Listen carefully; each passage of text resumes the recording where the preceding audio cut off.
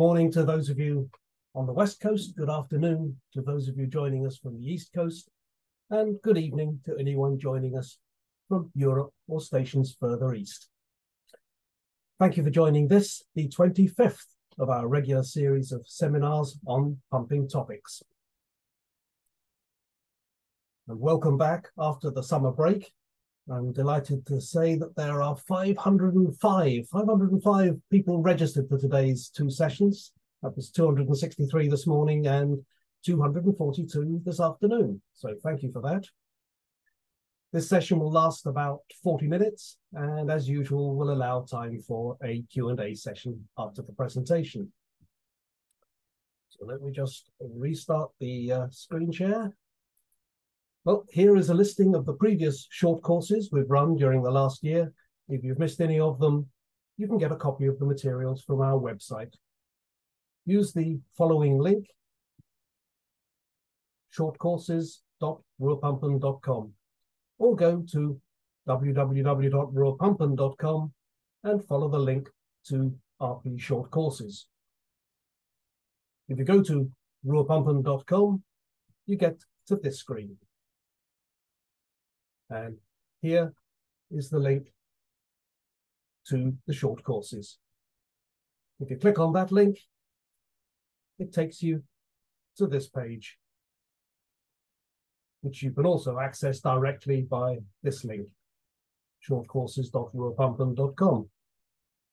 You'll see all the courses listed, and you can click on any one of them to download the course material or um, yeah, the course materials.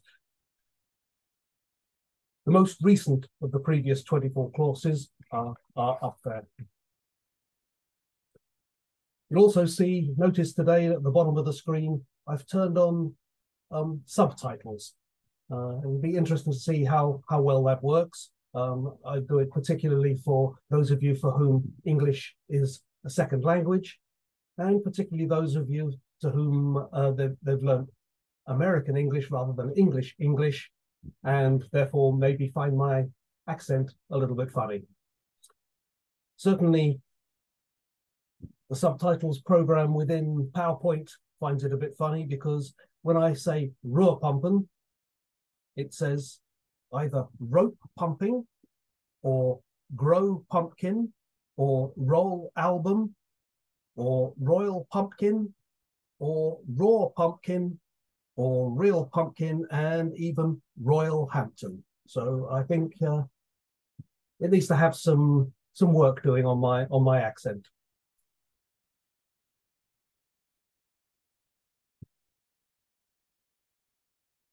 Well, here is what we're going to cover today, magnetic drive pumps. It's a dark art to many pump engineers. I will try to bring it to the light.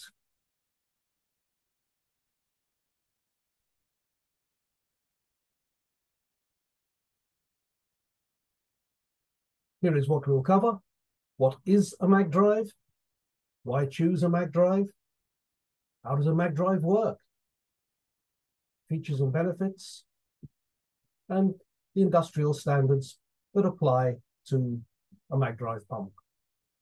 And finally, as usual, we'll hold a Q&A session at the end. So please use the Q&A facility at the bottom of your screen to ask any questions or make any comments. I'll address those that I can live at the end of the session, and the rest will address by mail in the coming days. We are recording this session and will make it available to all attendees as a YouTube link, as well as by emailing you a PDF version of the slideshow, complete with the presenter notes, which is essentially the script of the presentation. You'll also receive the Q&A summary from both of today's sessions. So first, what is a magnetic drive?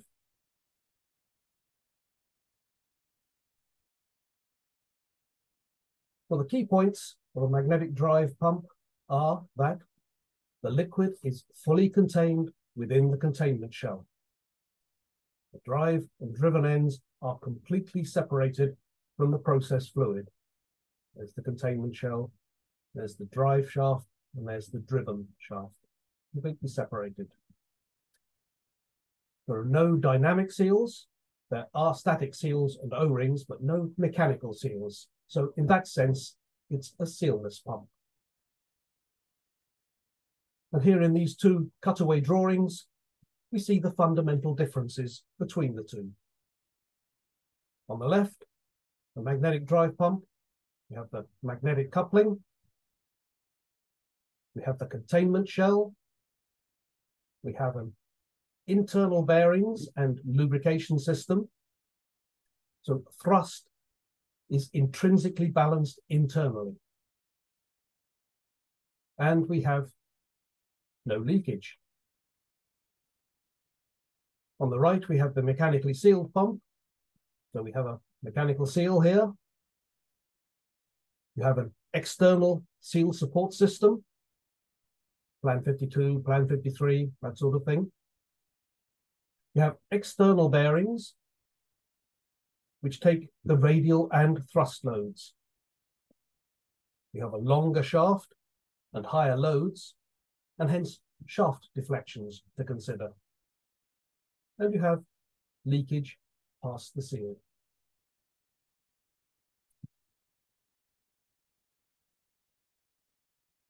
Now from the 40,000 foot view, they look initially the same. In both cases, you have a motor, a coupling, coupling guard, and the pump. Now, on the mechanically sealed pump, we have motor, coupling, connecting to the pump shaft. Pump shaft, which leads to the external bearings, thrust and radial, the mechanical seal, and finally the impeller, all on one shaft. The magnetic drive pump has more components. Again, you have the motor and the coupling connecting to the drive shaft, which is connected to the outer magnet carrier, which in turn connects magnetically to the inner magnet carrier. That in turn is connected physically to this driven shaft, the pump shaft, and so to the impeller. Looking at the two rotating assemblies together, these are where the differences lie, the additional components. A second shaft, the outer magnet carrier, and the inner magnet carrier.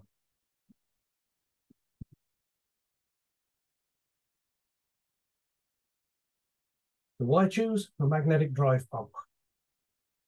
Well, there, there are two major considerations, environmental friendliness and safety of personnel. Here on the right is a scale of safety, starting here at the bottom with a packed gland pump, which these days would only be used when pumping clean or cleanish water. It doesn't matter much if it leaks moving up the scale to less and less risk of le leakage. But first you have a single mechanical seal, which will leak, probably only parts per million, but it will be leaking. And if it's, uh, uh, depending on what you're pumping, that might not be acceptable. Then you have two types of double mechanical seal. You have the unpressurized version and the pressurized version. This one, leakage past the inboard seal will go to a reservoir from where it could possibly leak to atmosphere. In this one, the pressurized mechanical seal, you have from the reservoir, the backup seal, it pushes it into the pump. So any leakage is into the pump, not out to atmosphere, except if you have a seal or bearing failure. Next up the list would be a mag drive, a basic construction pump with no secondary control or secondary containment.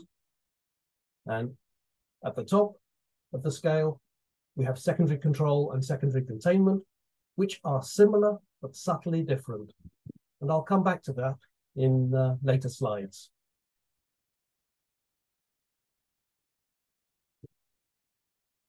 Well, these are the type of applications where mag drives are actively considered harmful, toxic, flammable, explosive, heat transfer fluids, or expensive fluids.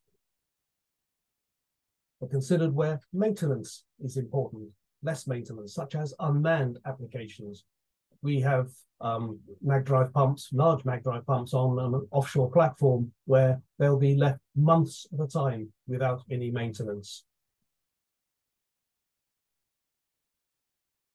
You get reduced installation costs compared with a double mechanical seal, largely because you haven't got a seal support system to have to install alongside.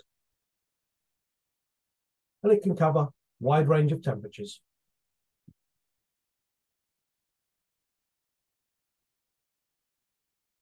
And these are the common limitations why you would not use a mag drive pump. Pressure.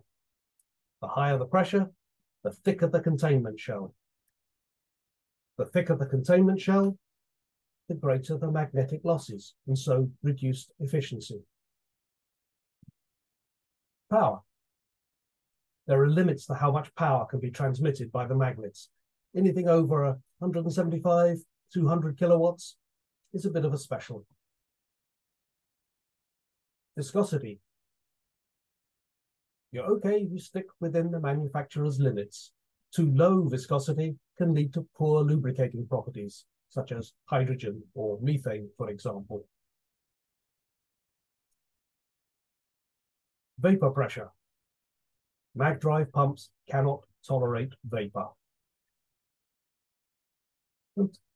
But we'll cover that more in coming slide, slide 36. Solids, well, narrow flow passages might get blocked, but this isn't a big problem, and manufacturers have designs to overcome this constraint, as you'll see in slides 35 and 43. So how does a magnetic drive pump work?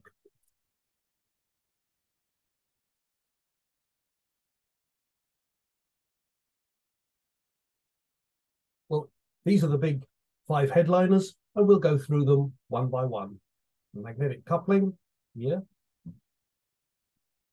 the containment shell here in yellow, the internal bearing feed system, and internal bearings here and here, and zero leakage. So as I say, one by one. First, the magnetic coupling. You have the outer magnet carrier, which is here, directly coupled to the electric motor and running in air. Then we have the containment shell, here in blue and here in yellow. We like to be consistent. And then the inner magnet carrier, inner magnet carrier, which is driven by magnetic forces by the outer magnet, uh, outer magnet. Here we see it in cross section.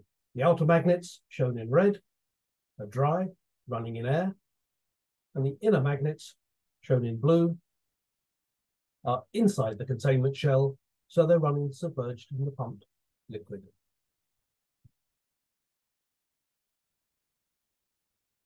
There are, of course, magnetic losses, uh, the magnitude of these losses is dependent on several matters. Firstly, thickness.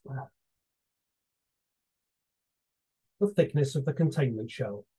Here, this could be, say, a one millimeter thick shell, and so the separation between the magnets is about two millimeters. Here, a thicker shell, one and a half millimeters. The gap would be two and a half millimeters perhaps. And here with a two millimeter thick shell, the gap could be three, three and a half millimeters. The magnetic losses will be greater the greater the gap between the magnets. So we're looking to minimize that. In fact, there are five determining variables influencing the magnetic losses. Magnet size, bigger diameter, greater the losses. Pump speed. Double the speed, you double the losses. The quantity of magnets. More magnets means more losses, but on the other hand, more magnets means more power transmitted. The magnet gap, which is directly linked to the shell thickness, as we just saw. Bigger the gap, the more the losses. And finally, selection of the shell material. Different materials have different electrical resistivity. The applications engineer who's selecting the pump will be balancing these five um, variables to optimize the selection, technically and commercially. It's a balancing act. And here are the variables. Size of magnetic coupling, the pressure, the temperature, the material, and the thickness. Let's illustrate this with an example. Let's assume we are pumping sulfuric acid at 45 degrees centigrade and 10 bar, 145 psi. We can select a 16 bar pump, which is an entry level ANSI or ISO pump, with a 316 Hastelloy C4 hybrid containment shell. I'll say that again, it's 316 stainless and Hastelloy C4 hybrid. And here is that, just to keep you in the picture. This part of the containment shell would be of Hastelloy, and this part would be of 316 stainless. So with that selection, everything is in balance. All is good.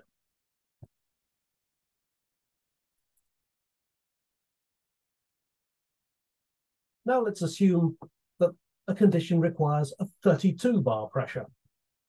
The balance is upset. We either need to select a thicker shell or change the material of the shell. Here, we've changed the thickness of the shell to one and a half millimeters from one millimeter. We are back in balance. We could equally as well have changed the material of the shell to a different, stronger material while keeping the thickness the same. The applications engineer is always playing with all the variables to optimize the selection.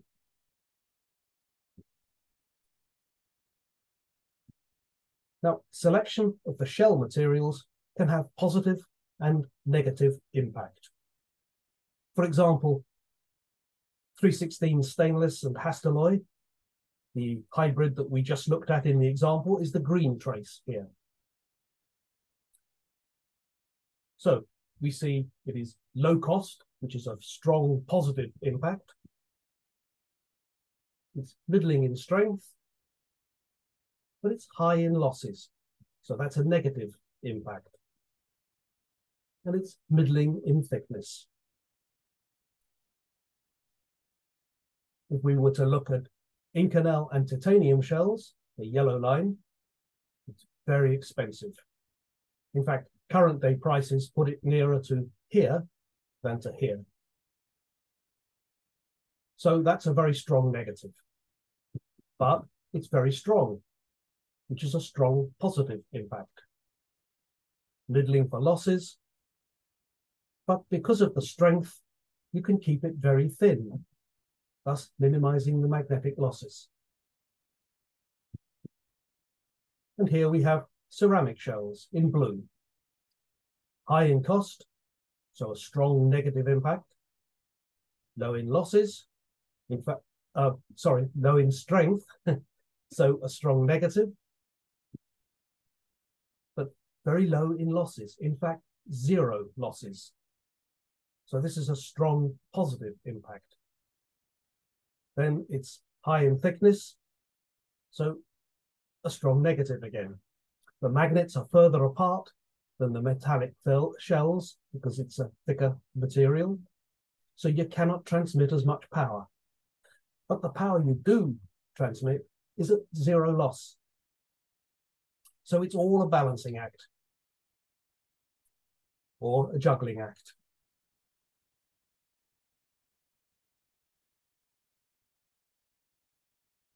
Moving on to the internal bearing feed system.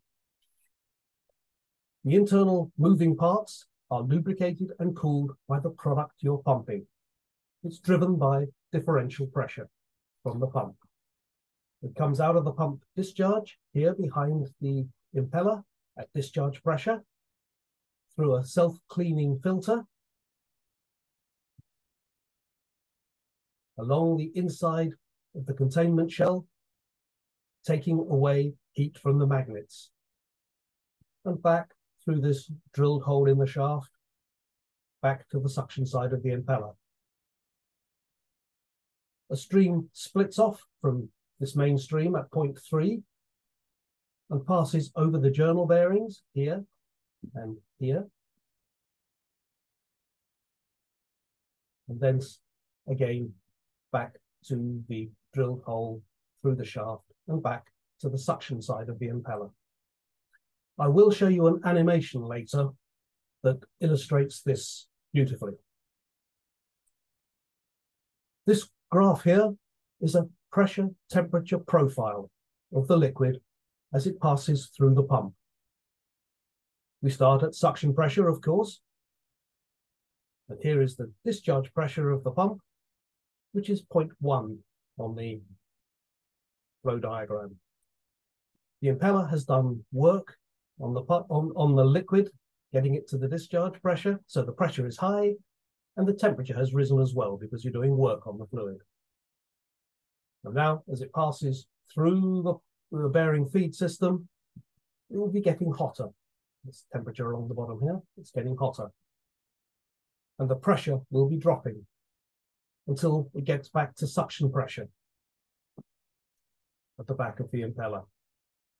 Now, the blue dotted line is the vapor pressure line of the fluid.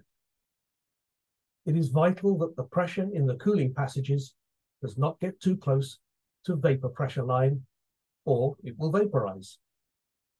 Now, this is something that the manufacturer will check and design such that it can never happen under any flow condition, from minimum flow to run out, minimum suction pressure maximum suction pressure, minimum fluid temperature, or maximum fluid temperature.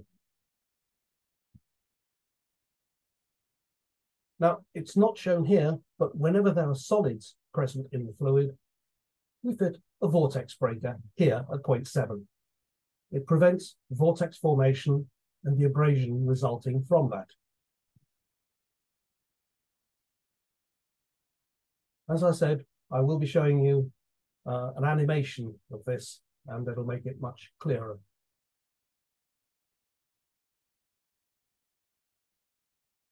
Here we see the journal bearing, the true heart of the pump. If this is maintained, it will outlast the impeller. It's typically made of silicon carbide or carbon. There are two bearings, one static here and one rotating here. They are heat shrunk into position, and they include lubrication grooves to ensure good flow. The thermal coefficient of expansion difference between a metallic and ceramic component is massive. Metals expand and contract far more and far more quickly than ceramic components. This could be a real. Oh, sorry, I just stopped the screen share, didn't I? Let's.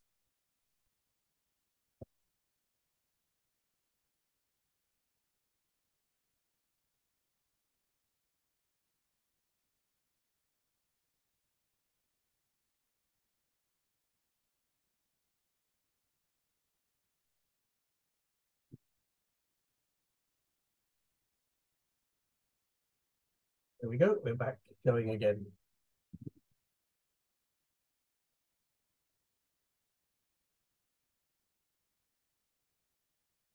So where was I saying? I was saying metals expand and shrink far more and far more quickly than ceramic components. So this can be a real problem on startup from cold or when there is a range of temperature conditions. Now this following feature is unique to Ruhrpumpen. We use locking springs that preload the bearings, which means that whatever happens as the pump heats up and cools down, these dynamic bearings stay exactly where they're supposed to. Whatever the temperature, minus 130 or plus 350 degrees. And the same applies to this static bearing here. There's an exotic metal alloy spring between the ceramic and metallic parts here. More typically, manufacturers would have a solid spacer in here where we have this uh, spring bellows, which is more limited in temperature range cover. Again, the animation I will show you in a minute illustrates this construction beautifully. So there are three main risks to the bearings operation. Viscosity, poor lubrication, solids, clogging and abrasion, and lack of flow. So how do we deal with these risks? Stay within the manufacturer's limits.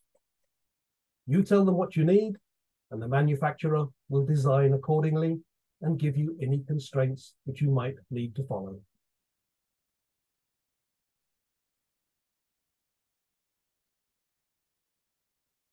Finally, just to explain, there is no leakage with this design of pump. The blue parts only are in contact with the fluid. The red parts are completely dry.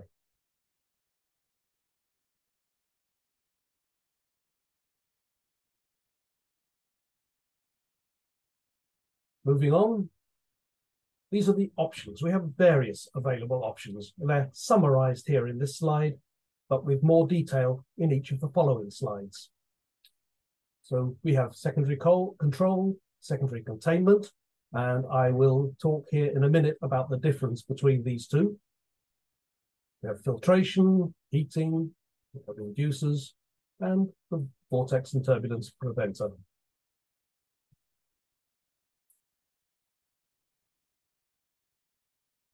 So first, secondary control. What happens here is that the steel pump casing, number one, is the containment vessel. And we have a, a lip seal, sorry, here, a lip seal or a dry running seal here. We have a flange leading off to the hazardous drain system. And you would have a pressure switch or level switch or flow switch to detect any leakage should this inner, um, should the containment vessel rupture. It also has a back pumping labyrinth system on the outside of the containment shell. I'll show you that in the animation in a minute. See how I like to build up the anticipation? So the steel casing, number one, and the bearing isolator here will last at least the 24 hours required by API 685. And quite frankly, you're going to shut the pump down well before that. Let's just look at what API 685 says. A secondary containment system should be a combination of devices that in the event of leakage from the primary containment shell or stator liner confines the pumped liquid within a secondary pressure casing that includes provisions that indicate a failure of the primary containment shell or stator liner. So that's what we're doing in this one. There is the contain secondary pressure casing with a labyrinth seal and a drain to the hazardous drains tank with a pressure switch or a level switch or a flow indicator to show that it is leaking. If you've had failure of that. What does API 685 say about secondary containment. confinement of the pumped liquid within a secondary pressure casing in the event of failure of the primary containment shell or stator liner. So that means a double shell, a secondary containment shell. Each containment shell has to have the same pressure rating and wall thickness. And between the two, you'd have a partial vacuum. And so if you do get failure of the inner can, you'd get a rising in the pressure, which would al allow you to trigger the fact that you've had a failure.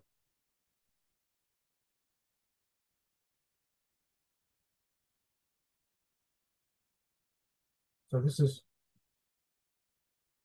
what API 685 says, a combination of devices that in the event of leakage from the primary containment shell confines the pumped liquid within the secondary pressure casing. And it will include provisions that indicate a failure of the primary containment shell or stator liner.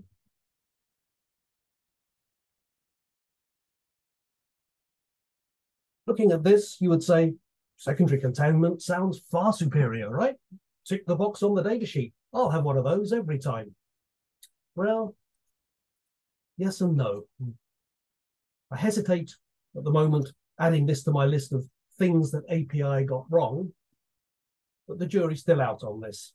But there are definitely some areas you would think long and hard about before specifying secondary containment. Some things to think about. API 685 specifies a 40 bar design pressure for both the containment shells. What has that done to your magnet gap? Especially if you need ceramic containment shells, what has that done to your losses? The size of the magnets. And if an upset is going to rupture the inner can, might it not rupture the outer can too? Especially if, as frequently happens, the uh, they're designed for a lower pressure than the inner can, which, like I say, for practical reasons, it sometimes is to keep the gap down. And the gap between the inner and secondary shells, you need to keep that to be mi minimal, the minimum possible. And that can be extremely difficult and expensive to manufacture. The gap can easily be 250% that of a single containment shell. And that's all leads to losses.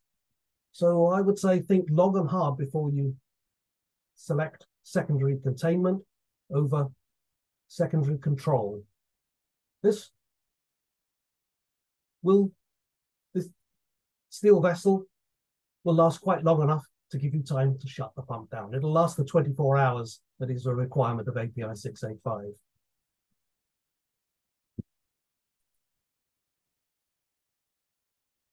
API 685 also has this Appendix B, which is a decision matrix for when you should choose between the two. The higher the risk, for example, auto ignition, um, H2S, and very hazardous chemicals, it starts talking about using secondary containment instead of secondary control for slightly lower risks.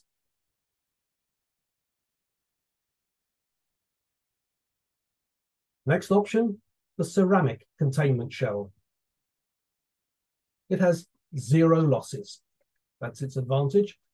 But the increased magnet gap means you may need larger or more magnets to transmit the power you need to run the pump.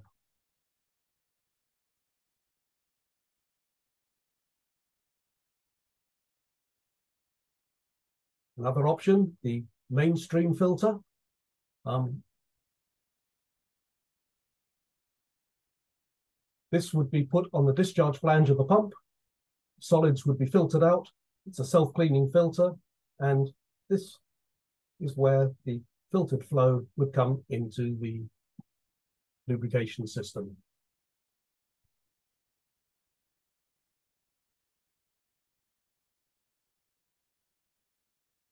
Heating and cooling jackets. If you're pumping uh, a chemical that is subject to waxing or a hydrocarbon that is subject to waxing, you might well need a steam jacket here, uh, possibly here as well on the intermediate housing. Or if it's a hot chemical, uh, maybe you'll need cooling here. Both can be operated independently or in conjunction with each other.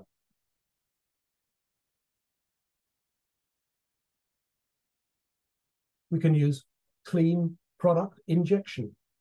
That might well be um, filtered and cooled product that is injected in here as a, as a and, and it goes through and back into the pump.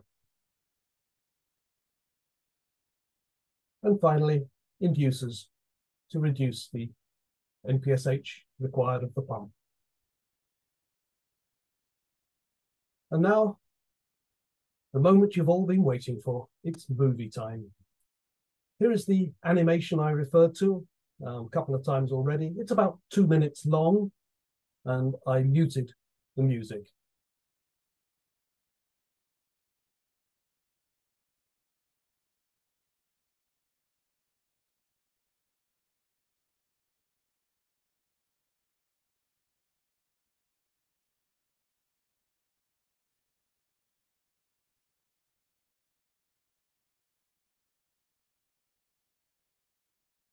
Now, here is the first thing that I wanted to show you. Uh, it illustrates the lubrication and cooling flow path through the pump. There we go.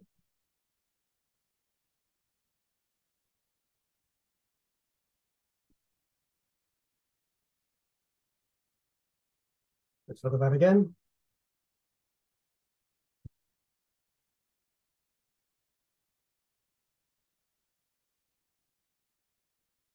and again.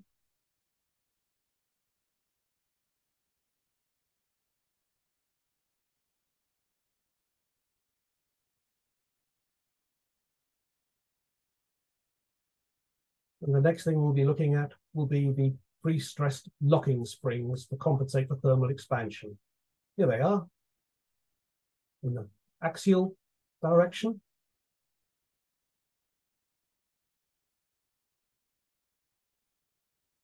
and in the radial direction.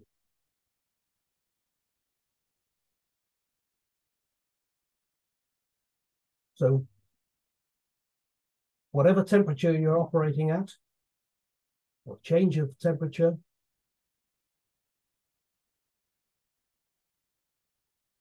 this locking spring will compensate and ensure that the bearings are in the perfect position as they should be.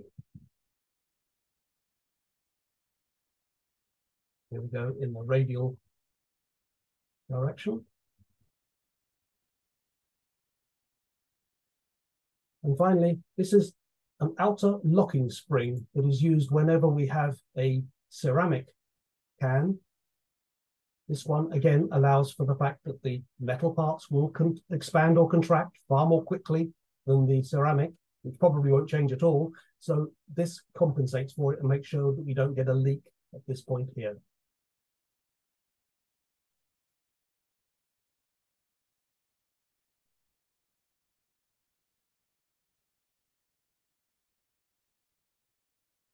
Now we're going to look at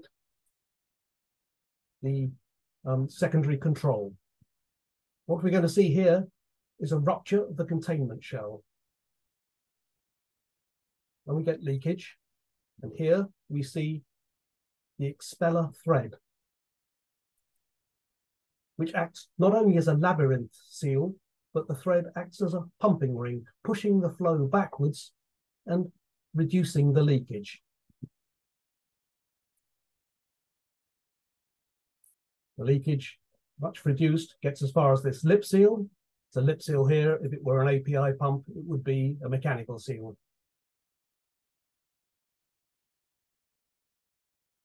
And it goes from there to the drain.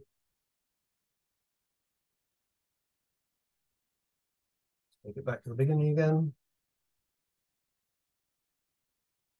There we go, we get the rupture. See the pumping ring, pushing it backwards, reducing the amount of flow. The reduced amount comes through here and is stopped by that lip seal from getting to the bearings and escaping out into the to the atmosphere.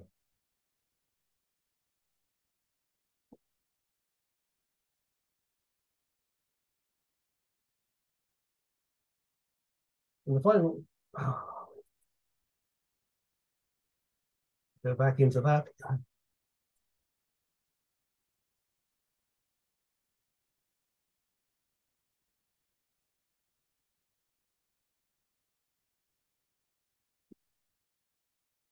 That was what I was trying to show you. It's the vortex preventer that is fitted in the end of that shaft if there are any going to be any solids in the in the product, and that will uh, ensure that vortices don't, don't form and that abrasion uh, does not occur.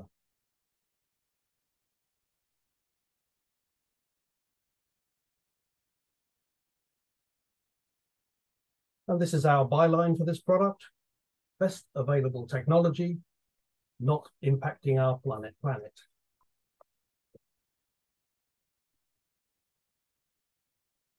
So moving on to the features and benefits of a MagDrive pump. Now, these are mostly features that are not unique to Ruhrpumpen and they're sort of generic to any mag drive pump.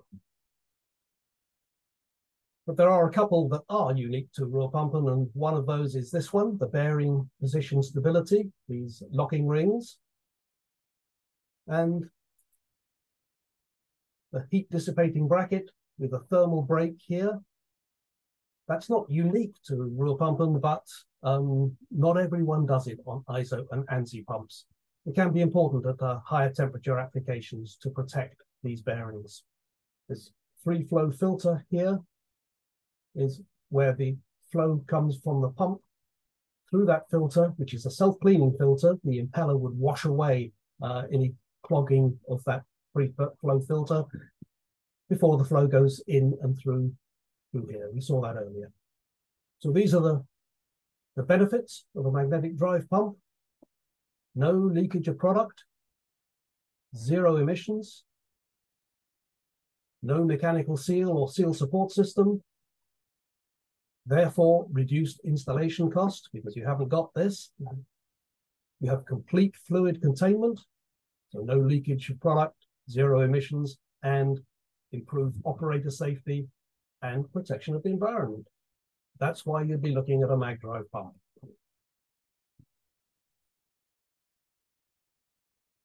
And finally, let's look at the industrial standards that are applicable to, uh, to these pumps, the mag drive pumps. These are the API hydraulics that we have available. In fact, there's another one on there, an 8 by 6 by 17, which doesn't show there. I should have put that in. Um, well, these are the API pump sizes, and it's suction, discharge, impeller diameter.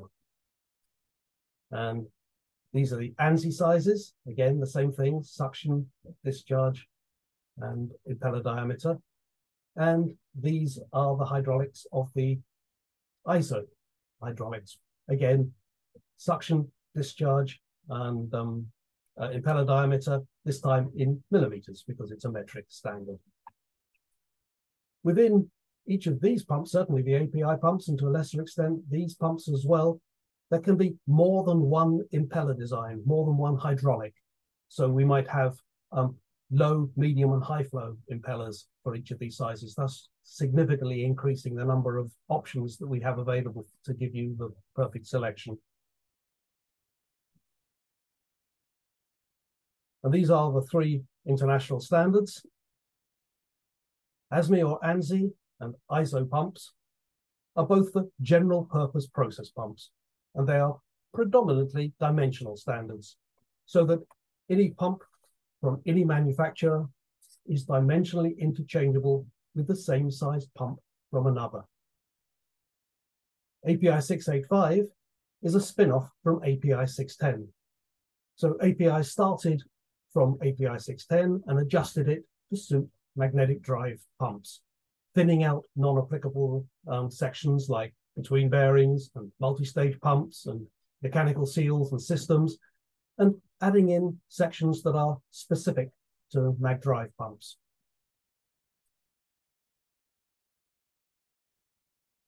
And here is a summary of the key mechanical differences between API and ASME and ISO. Pressure rating. API is a 40 bar. All pumps must be rated for 40 bar. ASME 18.9 bar, ISO 16 bar. So it's a, a lower pressure standard. API pumps have both case and impeller wear rings. ANSI and ISO pumps generally have casing only. It's a centerline mount API for hot applications. ANSI and ISO pumps generally foot mounted. API has no dimensional standard. Um, so if you buy a similar, a same size pump from, or nominally same size pump from two different suppliers, they will not fit on the same base plate. Whereas with ANSI and ISO, it's prescribed and therefore they, anybody's pump will, is interchangeable with anybody else's pump. Testing and inspection within API is mandatory and it's optional within ANSI and ISO. Final slide now, it's looking at the marketplace. Ruhrpumpen has been building these pumps since 2012, and we've manufactured 675 pumps in that time. So I looked at the installation list and came up with some interesting statistics. Now, the Ruhrpumpen range of pump sizes is very similar to the uh, big players in the market. So Flowserve, Klaus Union, Sundyne, which is HMD, and uh, KSB. So I think these statistics apply across the industry. So I looked at the installation list and I saw that 80% of pumps are less than 10 kilowatts. 90% are less than 20 kilowatts. 7% are between 20 and 50 kilowatts. And 3% are above 50 kilowatts. 10% of pumps are API build. 90% are ANSI or ISO build. And the largest pump we've built to date is 160 kilowatts. Uh, we have one being built that is 200 kilowatts. Well, that concludes the fun for today, apart from the Q&A, which is coming up in a few moments.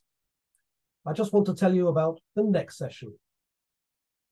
Having just covered mag drive sealless pumps, it seems appropriate to cover mechanical seals. So that's what we're going to do.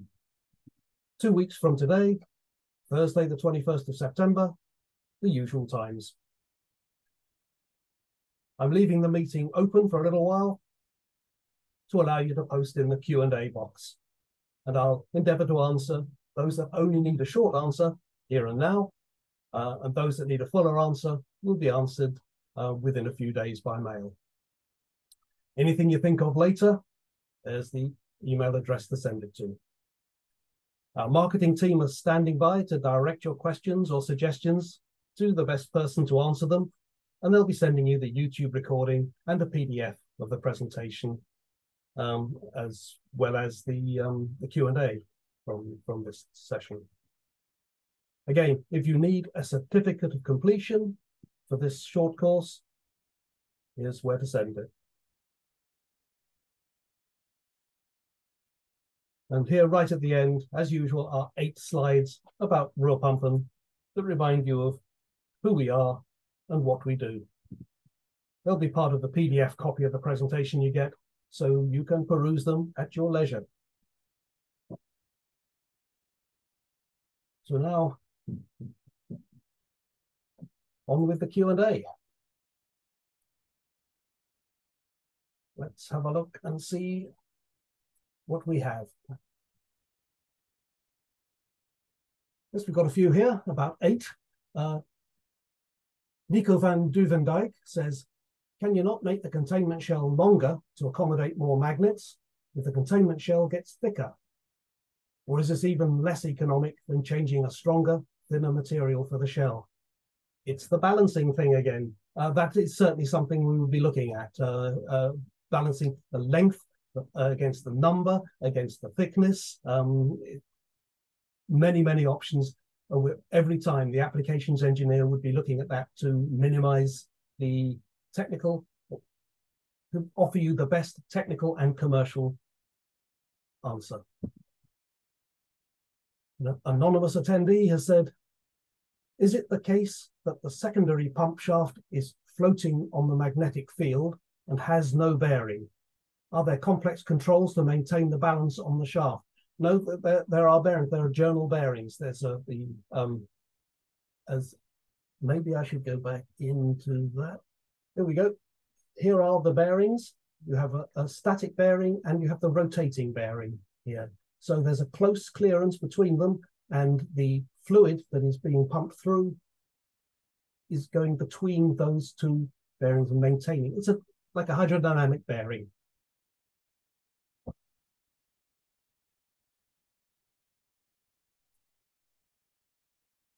Okay. Um, how does a self-cleaning filter work? Um, basically, there's a, a, flow of fluid washing over it all the time, just flushing it clear of the solids that are, that are um, accumulating on it. Nathan Little says, what's the maximum power transmission limit for using a mag drive? I'm not sure that there is necessarily a maximum power transmission. The biggest we've done is 160 kilowatts, and we've got one going that's 100, uh, 200 kilowatt. That's probably the limit of um, commercially available uh, magnetic drives.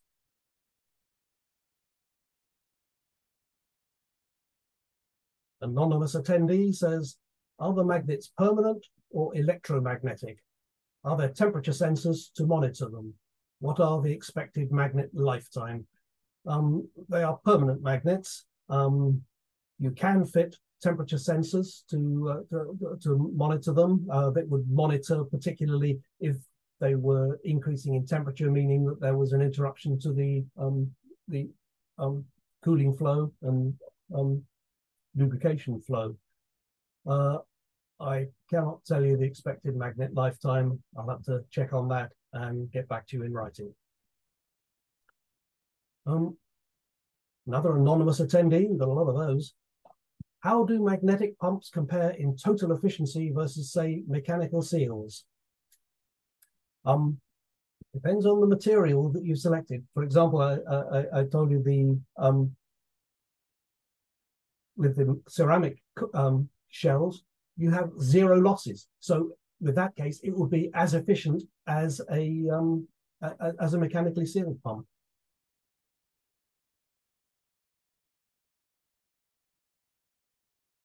Our anonymous attendee has said again, why aren't vertical suspended pumps with mag drive not common, such as VS6? Most seems to be horizontal or inline vertical. Well, you did see uh, that the majority of the pumps are less than 30 kilowatts in the region you know, 20 kilowatts. Now, most VS6s um, that, that, I have sold over the years have been much higher powers than that. But there's no reason why you couldn't have um, a, a, VS6 pump, certainly smaller VS6 pumps uh, designed as mag drive. There just hasn't really been the demand for them. It tends to be for the vast majority of them is for ANSI or ISO pumps. So 90% of the pumps, the demand has been for ANSI or ISO pumps. Only 10% of the demand has been in the last 10 years for API pumps.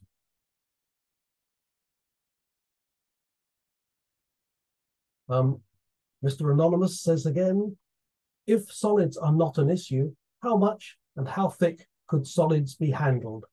Um, on one of the slides, I did show, I think it's up to 5% and Maybe I need to look at it. Hold on a second. No, I can't immediately find it. Uh, I'll, I'll, um, I'll give it to you in writing, but it was on one of the earlier slides where we uh, said what, what are the constraints, and it showed the, um, the, the, the maximum and solid size that we, we can handle.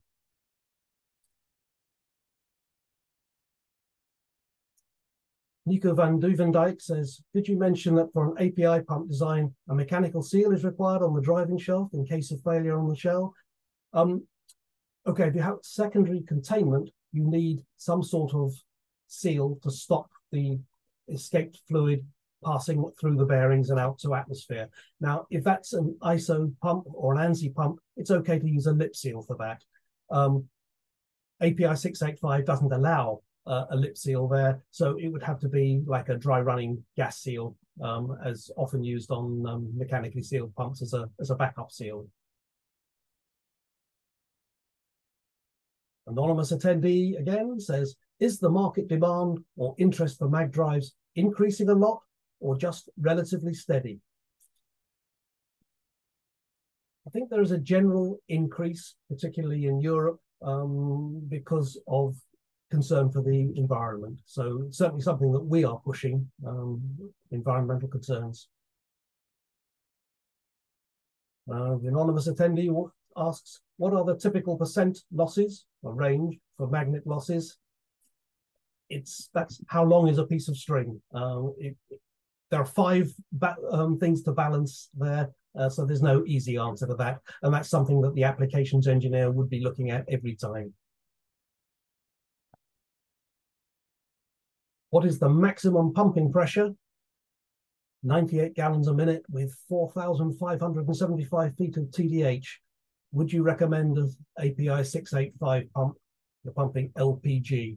Uh, no, you. I think you are well out of that. 4,575 feet of TDH is way high pressure for um, that is a barrel pump with a Plan 53, um, without doubt. In fact, it could even be a positive displacement pump at that sort of head, 4,575 feet. Mr. Anonymous attendee says he loves my vest and tie. Hello. As usual, always stylish. Well, thank you very much. I try my best. um, he says, is the total owning cost of a magnetic pump lower than a mechanical seal version?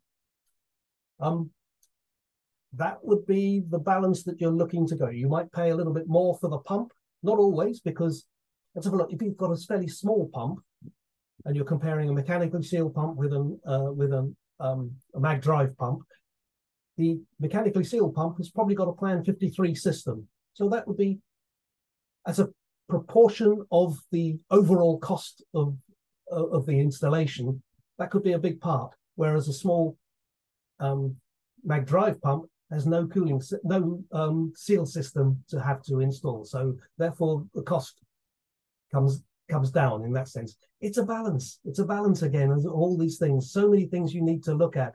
Uh, you also need to look at the overall cost of ownership, the less maintenance perhaps of uh, uh, a mag drive pump compared with a mechanically sealed pump.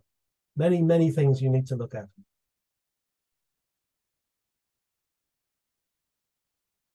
Uh, do API 685 pumps have a closed, close coupled design or only with separate bearing assembly design is available.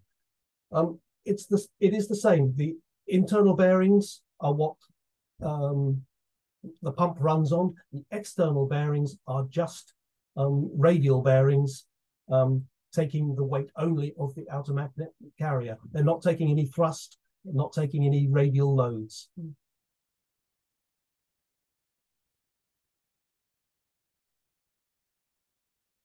Are there concerns with ferrous solids building up on the magnet areas, such as rust from carbon steel piping? How to prevent this issue? Um, that's above my pay grade. I don't know how to answer that one. I'll get an answer from our experts and get that back to you. David Alcorn says, would overhead high voltage AC power lines interfere magnetically with the pump operation? I'll have to take advice on that as well. I don't know. Uh, anonymous attendee says, you mentioned that depending on the material of the shell, the magnetic losses can be even zero. In that case, pump efficiency of the MagDrive version would be better than the one having the mechanical friction loss. Is that right? Um, yeah, that would be right. Yeah.